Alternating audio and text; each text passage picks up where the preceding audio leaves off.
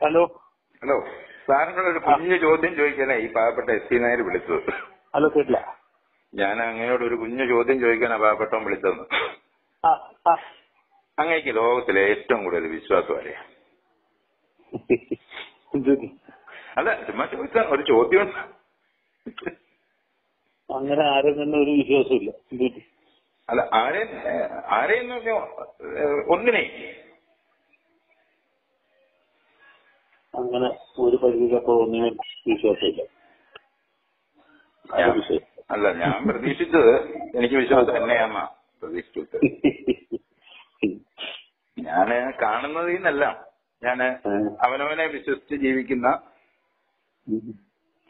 ഒരു മനുഷ്യനായിട്ട് അങ്ങനെ കാണുന്നത് അതെ. പക്ഷെ അങ്ങ് എന്തുകൊണ്ടാ മറുപടി പറഞ്ഞില്ല എന്ന് എനിക്കറിയില്ല. എല്ലാ അത്ര എന്നെ തന്നെ അത്ര വെരി ഗുഡ് ഫണ്ടാസ്റ്റിക് അത് തന്നെ. അല്ല അതും ശരിയില്ല. അവനവനെ പോലും ഇപ്പം വിശ്വസിക്കാൻ പറ്റാത്ത ഒരു കാലമാണ്. ഇന്നത്തെ കാലം. അതെ അതെ അതെ അല്ല അങ്ങ് എഴുതിയിട്ടപ്പോഴേ ഇത് നമ്മുടെ രാമേന്ദ്രൻ ചേട്ടനെ പറ്റി എഴുതിയിട്ടപ്പം ഈ പലർക്കും പല സ്ക്രോളൊക്കെ ഞാൻ കണ്ടു. അല്ല ഞാൻ ഉദ്ദേശിച്ചത് ഇതാണ്.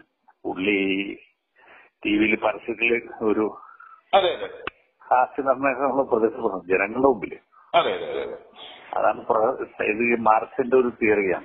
എല്ലാം ചരിത്രത്തിൽ രണ്ടു പ്രാവശ്യം ആവർത്തിക്കും. ആദ്യം ദുരന്തമായിട്ട് പിന്നെ പ്രവർത്തനമായിട്ട് അതാണ് എന്റെ പ്രിൻസിപ്പിൾ അതാണ് അത് പക്ഷേ ഈ വിവരമുള്ളവർക്കല്ലേ മനസ്സിലാവുള്ളൂ. അതെ അതെ. അത് ഇതിന്റെ റിവേഴ്സ് ആണ് രാമേന്ദ്രന്റെ കാര്യത്തിൽ ആദ്യം പ്രവർത്തനമായിട്ട് പിന്നെ ദുര- ദുരന്തമായിട്ട്. ഒരു ദുരന്തത്തിൽ നിന്ന് ഉയർത്തെഴുന്നേൽക്കുകയല്ല ഒരു പ്രവർത്തനത്തിൽ നിന്ന് ദുരന്തമായി അവസാനിച്ചു. അത് പക്ഷെ ദുരന്തമായ പാവം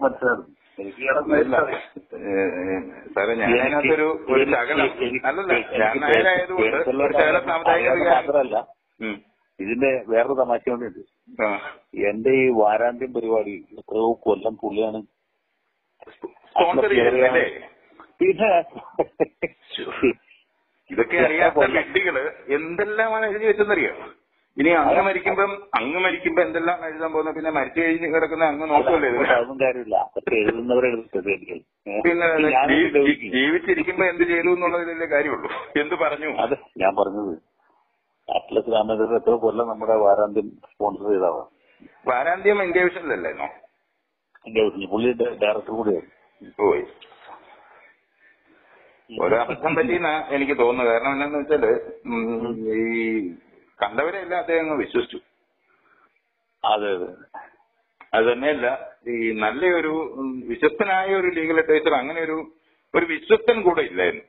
അല്ല അങ്ങനെയല്ല. ഈ ബിസിനസിന്റെ സംബന്ധിച്ചുള്ള വെച്ചാൽ നമ്മൾ വിചാരിക്കുന്ന പോലെ എല്ലാ ബിസിനസ്സും അല്ല ഒരിക്കലും അല്ല സാർ. ഞാൻ ഈ ബിസിനസ് പൊളിഞ്ഞ മനുഷ്യനാണ് എവിടെയെങ്കിലും ഒരു സ്ഥലത്ത് തെറ്റിയ. എന്റെ പൊന്നെ? അല്ലല്ല പൊളിഞ്ഞു കഴിഞ്ഞാൽ എന്നാന്നറിയോ? എനിക്ക് വന്ന കടങ്ങളും ബാധ്യതകളും മുഴുവൻ ഞാൻ കള്ളു കുടിച്ചതാണെന്നാണ് ആൾക്കാർ പറഞ്ഞുണ്ടാക്കിയത് ഞാൻ രക്ഷിച്ച് ജീവിപ്പിച്ച എന്റെ പെങ്ങൾ പോലും പറഞ്ഞു. അപ്പൊ ഞാൻ പറഞ്ഞു അത്രയും രൂപയുടെ കള്ള് ഞാൻ കുടിച്ചാൽ ഞാൻ ഇന്ന് കാണുകയില്ല. എന്ന് മാത്രമല്ല ഈ മദ്യപിച്ചതിലും ഇതിൽ ആശുപത്രിയിലൊക്കെ ആകണമല്ലോ ഇങ്ങനെ ഒന്നും സംഭവിച്ചിട്ടില്ല. പക്ഷെ ഇത് കൈകൊണ്ട് തൊട്ടുപോയാൽ സംഗതി ഉടനെ തന്നെ അതിന്റെ പരിധിക്കായി ഓഷോ രജനീഷ് പറഞ്ഞ ഒരു വാക്യമാണ് ഞാൻ ഓർക്കുന്നത്. മദ്യം അധികാരം കണ്ട് ദുഷിക്കുന്നില്ല. പക്ഷെ ഇത് ഉള്ളിൽ ചെല്ലുന്നതിന്റെ ഉള്ളിൽ നിന്ന് യഥാർത്ഥ സത്വം പുറത്തു കിടന്നു ഓഷോ ഞാൻ ഇടയ്ക്കൊന്ന് ഓടിച്ചു വായിച്ചതാണ് ഇവിടുന്ന്. ഈ- സമൂഹത്തിൽ ഈ ഊളന്മാരുടെ സമൂഹത്തിൽ ചിന്തയും ബുദ്ധിയുള്ളവർക്ക് എന്തെങ്കിലും പറയണമെങ്കിൽ അവർ വളരെ മേടിക്കേണ്ട ഗതികേടാണ്. അല്ല ഇത് ഈ ഇത്തരുന്ന ആൾക്കാര് മൂന്ന് തരക്കാരാണ് ഒന്ന് സി പി എംകാരാണ് അതെ. രണ്ട് ഈ മുസ്ലിം തീവ്രവാദികൾ ആയിട്ടുള്ള ആൾക്കാരുടെ പേര് വിവരം ലിസ്റ്റ് ഒന്ന് വായിച്ച ക്ലിയറാണ് മൂന്ന് പിന്നെ മൂന്ന് വെറും നിഷ്കാന്തരായ ആൾക്കാർ വായിച്ച് രണ്ടു കൂട്ടരുടെ അഭിപ്രായം ഇത് കണ്ടു കഴിയുമ്പോഴത്തേന് അതിനറിയോ ഈ മലയാള വാക്കിന്റെ അർത്ഥം പലർക്കും അറിയത്തില്ല. ഞാൻ സാറിനോട് ഒരു രസകരമായ കഥ പറയട്ടെ. എന്നെ ഈ ഹൈസ്കൂളിൽ മലയാളം പഠിപ്പിച്ച അധ്യാപകൻ. കുറെ കാലം കഴിഞ്ഞപ്പോ ഞാൻ അദ്ദേഹത്തിന്റെ വീട്ടിൽ ചെന്നിരുന്ന് വർത്താനമൊക്കെ പറയുന്ന ഒരു വെറും പൂർവ വിദ്യാർത്ഥിയായി മാറി. അപ്പൊ ഞാൻ ഞങ്ങളുടെ അടുത്ത് ഉരുളികുന്ന നമ്മുടെ സക്രിയൊക്കെ ഉണ്ടായ ഒരു. സ്ഥലമാണ്. ആ സ്ഥലത്തുള്ള ഒരു ആ വേലകൊള്ളുന്ന അവിടെ ഒരു മഹാ യഥാർത്ഥ പണ്ഡിതനെ ഞാൻ കണ്ടു അദ്ദേഹം. സംസ്കൃതം മലയാളം ഹിന്ദിയിലൊക്കെ പണ്ഡി- പാണ്ഡിത്യം അത്യാവശ്യം ഉള്ളയാളാ ഉം. അപ്പൊ അദ്ദേഹം എന്നോട് ചോദിച്ചു അക്ഷരം എന്ന് പറയുന്ന വാക്കിന്റെ അർത്ഥം അറിയോ ഞാൻ പറഞ്ഞു ഞാൻ പഠിച്ചിട്ടൊന്നും ഇല്ലെന്ന് പറഞ്ഞു. ഇപ്പൊ പറഞ്ഞു ക്ഷരം നശിക്കുന്നത് അക്ഷരം നശിക്കാത്തത്. ഇത് അദ്ദേഹത്തിൽ നിന്നാണ് എനിക്ക് കിട്ടിയത്. ഇത് എനിക്ക് സ്കൂളിൽ നിന്ന് കിട്ടിയില്ല. ഞാൻ എന്നിട്ട് ഈ സാറിനോട് ഒരു വീട്ടിൽ ചെന്നിരുന്നിട്ട് ചോദിച്ചു സാറേ അക്ഷരം എന്ന് പറഞ്ഞാൽ അക്ഷരം എന്ന് പറഞ്ഞാൽ അർത്ഥം അറിയത്തില്ലേ? അക്ഷരം നമ്മൾ എഴുതുന്ന സാധനം. ഏത് മലയാളം വിദ്വാൻ പാസ്സായ ഒരാളാണ് ഈ സൈസ് ആളുകളാണ് ഈ നമ്മുടെ പിള്ളേരെ പഠിപ്പിക്കുന്നത്. പിള്ളേരെല്ലാം പഠിപ്പിച്ചു വിട്ടത്.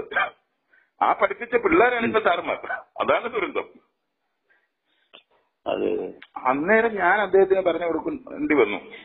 എന്നിട്ട് ഞാൻ പറഞ്ഞു സാറേ ഇത് ഉരുളികുന്നത്തുള്ള ഒരു പാവപ്പെട്ട മനുഷ്യൻ അദ്ദേഹം അധ്യാപക ജോലി ചെയ്തിട്ടില്ല. അദ്ദേഹം വേണ്ടി വന്ന് എനിക്ക് പറഞ്ഞു തരാൻ. നമ്മുടെ എഡ്യൂക്കേഷൻ സിസ്റ്റത്തിന്റെ അങ്ങ് പറഞ്ഞ വേറൊരു വാക്ക് ഞാൻ ഓർത്തു പോവാണ് സിസ്റ്റം ശരിയല്ല.